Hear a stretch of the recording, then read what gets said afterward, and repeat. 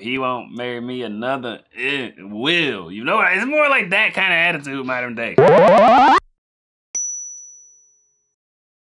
All right, today I'm checking out the Fifth Dimension. I'm listening to the song Wedding Bell Blues. Let's get into it.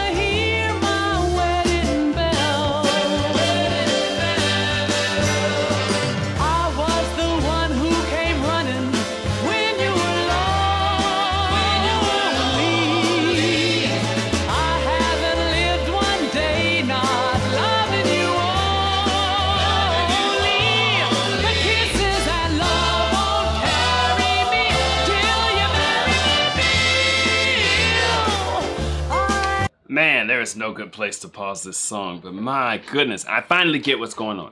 Wedding Bell Blues. I was thinking this was going to be about something bad happened at the wedding. That's where the blues comes from. No, the blues is she she's in love with this guy named Bill. She's been true to him and whatnot, and he hasn't popped the question yet. That's what's going on. This song must be iconic. It sounds super classic, but it must be iconic if there's been so many different renditions of it. Is this the original?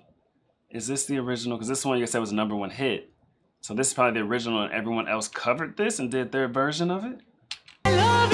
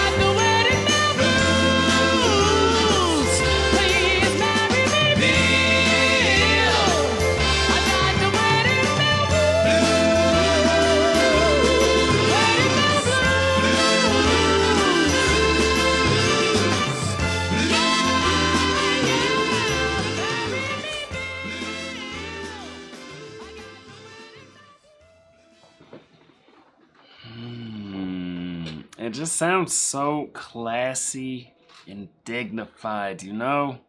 It's just, I don't even, it's just, I feel like this era is kind of gone, I guess. I guess you could say.